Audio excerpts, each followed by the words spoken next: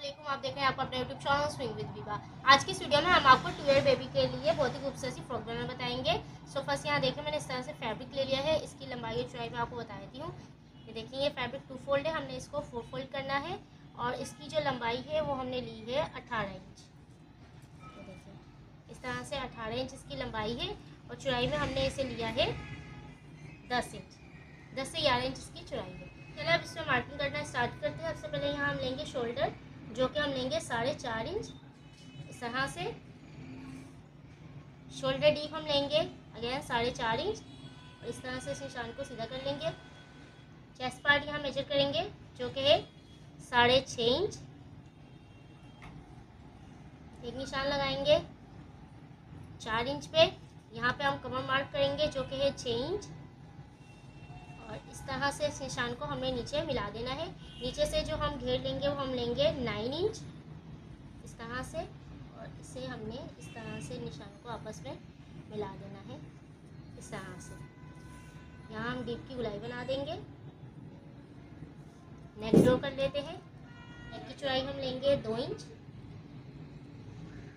Front नेक की लंबाई जो हम रखेंगे, वो हम रखेंगे साढ़े तीन।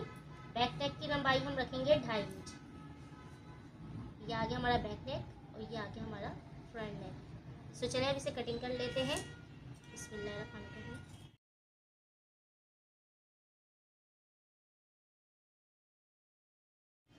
तो देखिए, इस तरह से हमने कटिंग कर लिया है। फ़र्स्ट, अब इसमें बैक का नेक को कटिंग करेंगे। बिस्मिल्लाहिर्रहमानिर्रहीम और अब बैक पीस को अलग करके हम इसमें फ्रंट के नेक को कटिंग कर लेते हैं।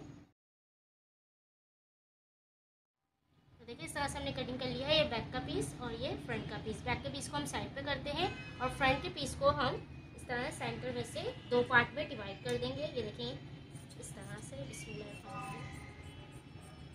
तो देखिए, इसे दो पार्ट में हमने डिवाइड कर दिया है। अब इसके सेंटर में हमने बॉक्स प्लेट डालनी है तो उसके लिए यहाँ मैंने एक फैब्रिक लिया है। तो बॉक्स प्लेट डालने के लिए मैंने इस तरह से फैब्रिक ले लिया है, जिसकी लंबाई जो है वो सेम हमने इसी शर्ट की जितनी रखी है और चौड़ाई में हमने इसे लिया है फाइव इंच तो ये देखें, पाँच इंच की जो है वो चौड़ाई हमने ली है और लंबाई जिसकी मैंने सेम बताया है इसकी लेंथ के अकॉर्डिंग लेने, यानी अठारह अठारह इंच का हमने पीस लिया है। तो अब हमने सिंपली इसको इस तरह से रखना है। ये सीधा पार्ट हमने सबसे पहले रखना है ऊपर की तरफ़ और इसका भी सीधा पार्ट जो हमने इसके अंदर लगाना है फैब्रिक इसको हमने इस तरह से रखना है और यहाँ इसे सिलाई लगा के स्टिच कर देना है। उसके बाद ये इस तरह से देखिए आ जाएगा। तो हम इसका सेकंड पार्ट जो है वो हमने इसको इस तरह से रखना है और यहाँ स्टिच कर देना है जिससे ये इस तरह से आ जाएगा। तो चले मशीन पर चलते हैं और इसे स्टिच करते हैं। बिस्मिल्लाहिर्रहमानिर्रहीम।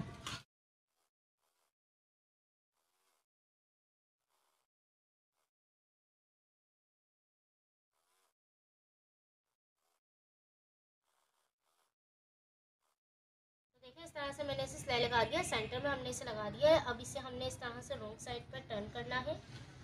इस तरह से और ये देखिए इसे इस तरह से बराबर करने के बाद अब यहाँ हमने इसे सिलाई कर देना है। यहाँ हमने इसे तकरीबन दो से ढाई इंच जो है हमने इसे स्टिच कर देना है।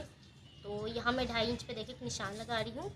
यहाँ हमने इसी तरह सिलाई लगा देनी है और यहाँ इसे फिक्स कर देना है। चले सिलाई लगा लेते हैं। बिस्मिल्लाहिर्रहमानिर्रहीम।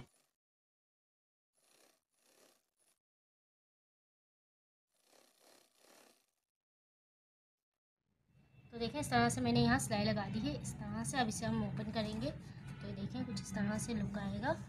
ये देखें अब हमने इसे रॉन्ग साइड पर टर्न करना है। ये देखें इस फैब्रिक को हमने इस तरह से रखना है। ये देखें इस तरह से। सो हमने इस तरह से इसे रख के यहाँ हमने सिलाई लगा देनी है। चलिए, इसे मैं इस तरह से रख के अब सिलाई लगा देती हूँ। बिस्मिल्लाह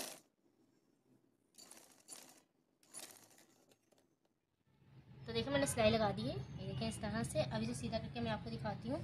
तो ये देखें इस तरह से हमारी बॉक्स प्लेट जो है, वो रेडी है।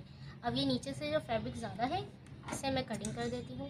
इस तरह से इक्वल कर देंगे। सो ये इस तरह से रेडी है। अब इसके ऊपर हमने पाइपिंग लगानी है फ्रंट पे और बैक पे।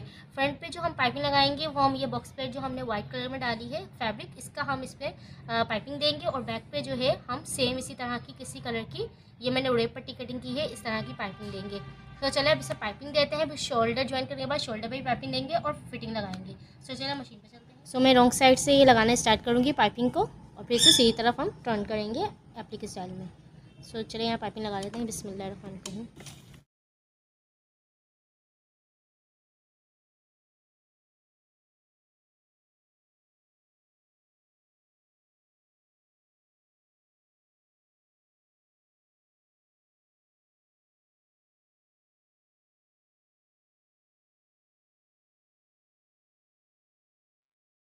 तो हम बैक के नेक पे पाइपिंग कर रहे हैं सेम कलर की जैसे कि मैंने बताया था। बिस्मिल्लाह कहीं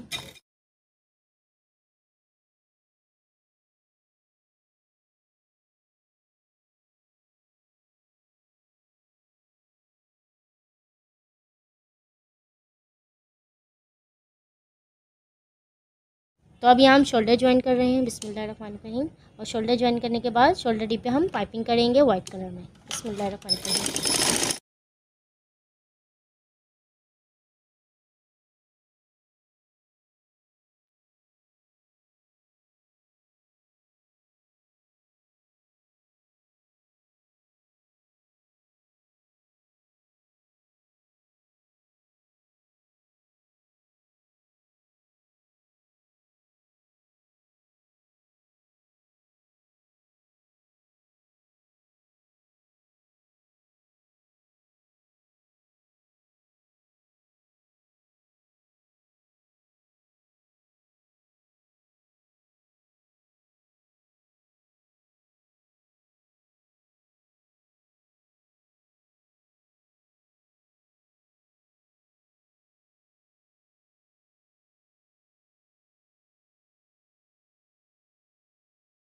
तो देखिए इस तरह से हमारी two year baby box pleat frock जो है सिल के रेडी है जो कि माशा से बहुत ही खूबसूरत लग रही है। सो so, ये थी आज की वीडियो आई होप आपको वीडियो अच्छी लगी होगी। अगर वीडियो अच्छी लगे तो लाइक और शेयर करना भूलेगा and don't forget to subscribe YouTube channel in next video में एक नई डिज़ाइन के साथ मुलाकात होगी। तब तक अपना और अपने प्यार को ख्याल रखिएगा। मुझे मेरी फैमिली को दुआ में याद रखिएगा।